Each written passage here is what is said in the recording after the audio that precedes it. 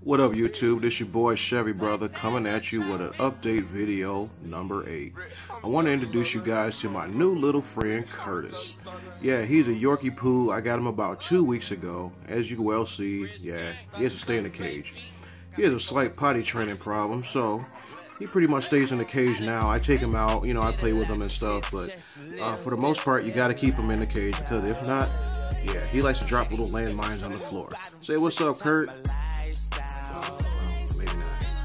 But uh, yeah, now over to Project F Bomb. Yeah, I took F Bomb out for a ride today, and unfortunately, I tried to do a speed run. I only got 26 miles an hour out of this thing. I don't know why it slowed down. Um, I haven't been able to run 30 miles an hour yet uh, since I ran it that one time. That was it. I guess it was a once and done. But uh, I took it out today. I only got 26 miles an hour out of it and blew another motor. Uh, if you look at the truck, the paint's still all jacked up. Uh, I kind of just took a pause on putting money into this truck for a minute. Uh, what I'm trying to do is save my money and actually buy another rolling chassis and build a speed run car. This one, I was trying to do the speed runs with this, but yeah, I'm tired of dumping money in this thing. So I'm gonna build another car. Uh, I already got a name for my next car. It's gonna be Freight Train. It's gonna be FR, the number eight train. Uh, that car should be coming.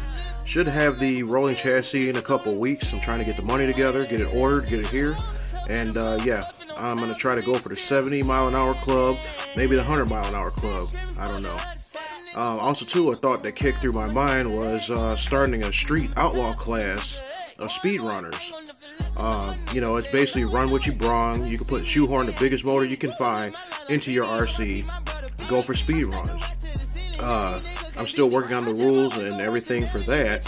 Uh, I was looking at Ray Luna's uh, 70 mile an hour speed club run. Yeah, those rules are cool, but it's real strict. Now with the street outlaw class that I'm trying to come up with, uh, the rules are going to be a little more laid back. Uh, you don't have to use lipo batteries if you don't want to, or you can. I really don't care.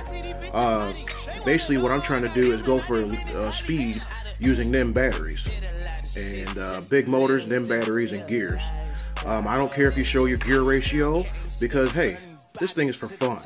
So you should be able to share your gears, you know. So if you know somebody's not that technically advanced, they too can enjoy the speed too of these cars.